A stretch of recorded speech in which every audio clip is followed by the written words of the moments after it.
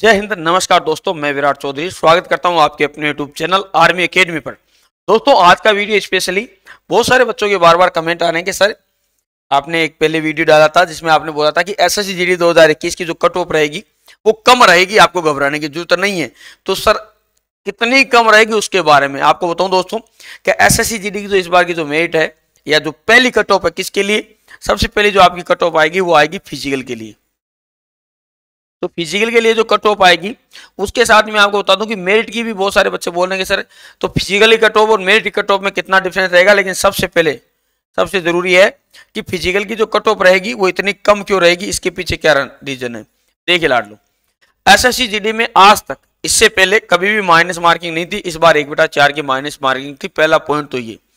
दूसरा, मैंने आपको एक चीज़ बताई थी कि माइनस मार्किंग होने के कारण नॉर्मलाइजेशन पर भी काफ़ी अच्छा प्रभाव पड़ेगा, क्योंकि पिछली बार क्या हुआ था? नॉर्मलाइजेशन में बहुत सारे बच्चों के प्लस दस हो गए थे प्लस पंद्रह हुए थे प्लस बीस हुए थे। कहने का मतलब है प्लस पाँच और प्लस एक।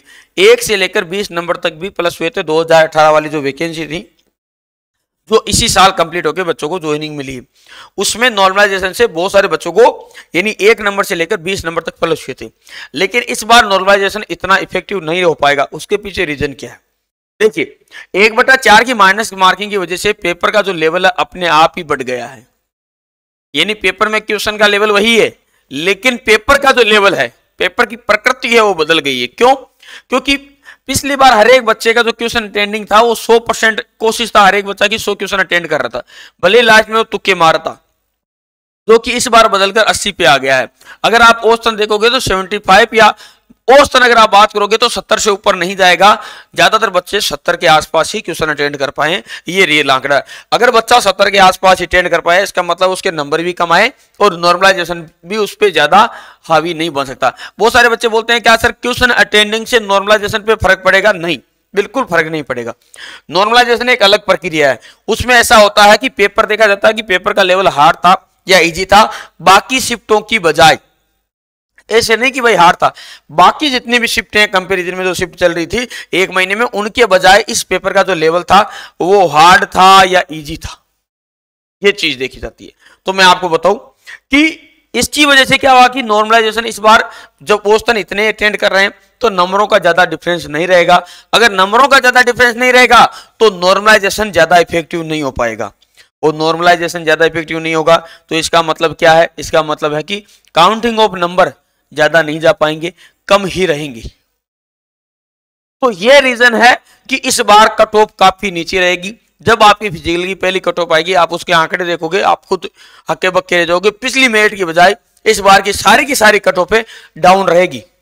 इसमें कोई शक नहीं, इसीलिए मैं आपको बोलता हूँ, आपको घबराने की ज़रूरत नहीं है। साथ ही एक चीज़ और बता दूँ, जो बच्चे ग्रुप डी की तैयारी कर रहे हैं उनके लिए कमांडो अकेडमी एप्लीकेशन पर पोस्ट लॉन्च कर दिया गया है। जो आर्मी की तैयारी कर रहे हैं, उनके लिए भी साथ ही आप अकेडमी में आके अगर आप तैयारी करना चाहते हैं, हमारे अकेडमी कुचामन सिटी राजस्थान में। फ़िज़िकल बैच भी शुरू हो गए आर्मी और एस एस के लिए। साथ ही गारंटी बैच भी चल रहे हैं, अगर आप ज्वाइन होना चाहते हो तो एक जनवरी से पहले आप ज्वाइन कर सकते हैं हमारी अकेडमी कहाँ पर है? कुचामन सिटी राजस्थान में, जिसके लिए मैं आपको नंबर बता देता हूँ। इस नंबर पर आप संपर्क कर सकते हैं nine five triple eight one zero six zero eight तो लाड़ लो जितने भी बच्चे हैं जिनका पेपर खराब हुआ उनको ऐसा लगता है या जिनका स्कोर ज़्यादा नहीं है, उनको घबराने की ज़रूरत नहीं है।